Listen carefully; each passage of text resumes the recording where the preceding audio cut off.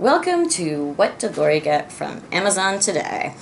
Um, if you've been following me, you know that I got these earrings, but I had to complain and say that they hadn't arrived. And this is why they probably hadn't arrived in time because this guy definitely went through the wringer. But I, I know that's exactly what they are. So, being a very nice human being, I printed out my return thing and I'm just going to return them because who needs two of the same earrings?